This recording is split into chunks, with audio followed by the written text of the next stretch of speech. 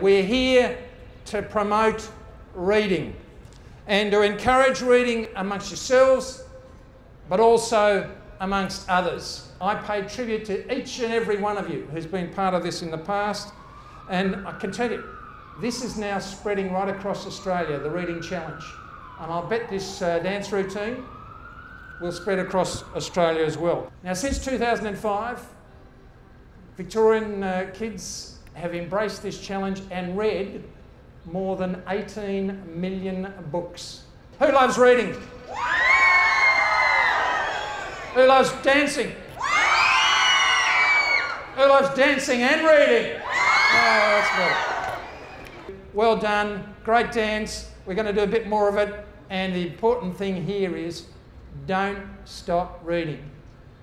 And I tell you what, one other thing this speech is going to be a good speech because this speech is going to be a short speech.